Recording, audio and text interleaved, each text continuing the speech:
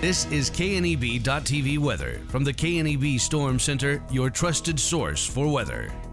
How about we deal with clear to partly cloudy skies through the evening? Temperatures slowly fall down through the 70s and then the 60s and 50s as we get into the early morning hours tomorrow. Yesterday we hit 92 degrees. We did better than that today. 43 for a low temperature this morning, yesterday morning rather.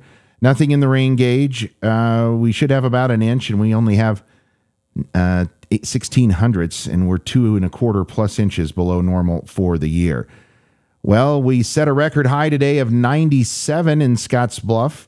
That uh, broke the record high previously set in uh, Scottsbluff of 95 in 2011. Also set record highs today in Alliance and Chadron and Sidney. Chadron, the warmest of those, at 99. Whew, nice and toasty out there.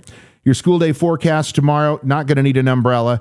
Heading to school in the mid 50s. It'll only be in the upper 80s tomorrow afternoon, so we'll shave about 10 degrees off of today's high. And if you're heading out to some Friday night football, well, not going to be too bad. Clear skies by 7 o'clock. Temperatures in the 70s will be in the 60s by 9. Looking for some precip? Boy, we need some, but there's nothing out there over the next week and winds are not going to be too bad. Maybe early next week picking up a little bit, but uh, winds are going to stay in check, which is good because we're going to have some pretty high fire danger concerns with warm temperatures and no precip coming the next seven days. Currently, temperatures in the 90s still out there, very hot evening. Winds are around 10 to 15, helping a little bit. Stronger winds in the sandhills out of the south, gusting over 20 as we take a look at, uh, well, how about your out the door forecast for tomorrow? In the 50s by 8 o'clock, and we'll be in the 70s by lunch, only in the 80s tomorrow afternoon instead of the 90s. A few scattered clouds around this evening. That's it. They clear out tomorrow. We're going to be sunny across the area. Any uh, low clouds, morning clouds will quickly burn off, and it's going to be clear tomorrow night. Very clear, severe clear, if you would, into Saturday and Saturday night, we stay clear here across the region. It's going to be a very nice but warm weekend.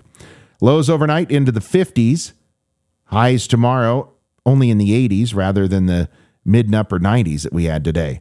As far as precip goes, it's non-existent out there over the next seven or several days. Seven for sure, but getting us through Sunday dry. 53 tonight for a low. It'll be partly cloudy tomorrow. It's going to be sunny. How about 89?